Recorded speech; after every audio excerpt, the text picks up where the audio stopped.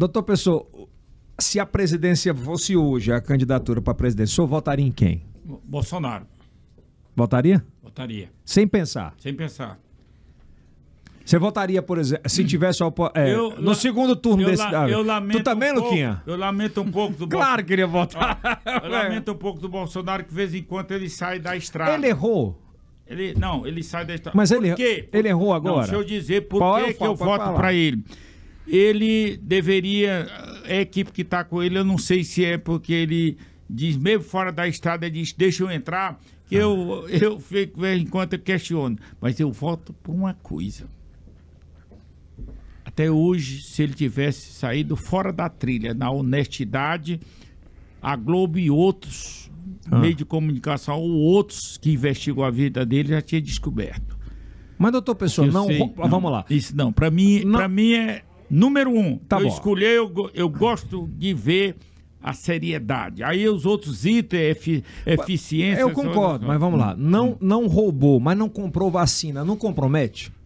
Com- Mas é por isso que algumas coisas que saem, talvez mal assessorado, talvez não tivesse o pulso que tem o doutor Pessoa. Então, então, o Por senhor, essas o senhor coisas acha que ele pode ter pecado em ter ouvido gente errado? Acho sim. Acho sim. Mas ele, por outro lado, ele tem um pulso que de vez em quando ele joga ministro do lado dele, da coisa, é, secret, é, é, E se o, senhor secretário tiver- de governo. se o senhor tivesse no lugar dele, você tinha colocado muita gente pra fora, perto dele, com esse. O senhor acredita. O senhor é médico? Não, não, não, mas, ó. Só acredita- esse no só olhar da- acredita- Da, educação? Mas, não, Da só- saúde? da só acredita na ciência, né? O senhor é Certo, médico. certo. Sim. Tão tal que eu nunca acreditei na cloroquina, vermectina, nessas tinas da vida. não. nunca acreditou nisso? Não, nunca acreditei. E olhe. Isso é bom falar, né, Olha aqui, Luquinha? olha aqui, aqui. Com 15 dias, 15 a 20 dias de prefeito aqui, caboclo lá da- do interior de, de Água Branca, eu estive com Jair Bolsonaro. Ah. Ele disse, mas Ave Maria, mas com força, acho que você soube disso aí. Claro. Eu fui mundo soube. Porque uma pessoa que eu não vou citar e não devo citar disse: "Você quer falar com o Jair Bolsonaro?" Eu digo: "Pronto, nós estávamos numa reunião aqui no Piauí". Eu digo: "Pronto". Aí ele, Presidente, eu estou aqui com fulano de tal aqui, quer dar uma palavrinha com o senhor. Ele falou de boa. O cara, e aí ele falou, disse: "Pois venha, pessoa, vem aqui, vem tomar um café comigo aqui". Fez, fez chamada de vídeo, Bolsonaro. Com ele. Chamada de vir. É bom estar com um tecnólogo aqui do lado. Aí ele, ele disse, ele disse, venha tomar café aqui comigo, doutor Pessoa.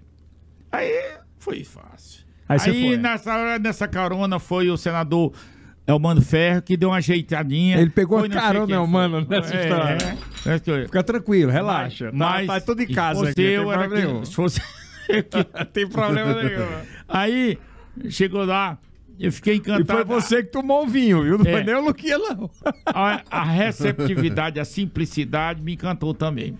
Chamou- Isso, isso foi o que trouxe muito para o senhor? Não, o que me sempre, ponto número um foi a honestidade.